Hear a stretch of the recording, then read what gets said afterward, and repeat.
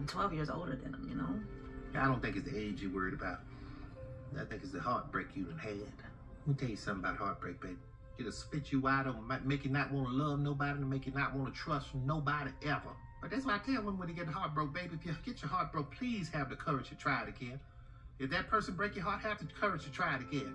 That next person break your heart, have the courage to try it again. Because I'm telling you right now, you keep getting your heart broke, pretty soon you're going to run up on a heart surgeon who know how to fix all them breaks you done been through.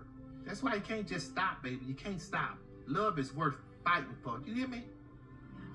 So I get it. Get your heart broke. Don't want to trust nobody else. Baby, building all them walls. But let me tell you something about a wall. It'll keep everything out.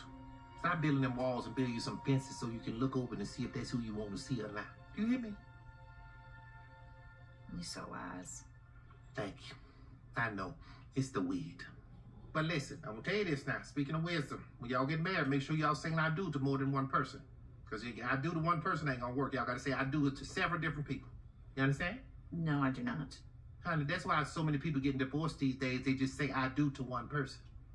Okay, I, I'm gonna take back what I said about you being wise because I feel like you're going off the rails here. If you was high, you'd be right there with me. But let me just make break it down for you. When you marry somebody, ten years later, that person gonna be somebody else. 10 years after that, they're going to be somebody else. People evolve, they change. That's why so many people renew their vows, because the person they said I do to at first ain't the same person they with now. Do you hear my belly? Take a chance on love. You're going to be all right. That boy too young to know that, but you old enough to understand. You old enough to know what I'm saying. So, baby, y'all take your time. You hear? Now, if you don't mind,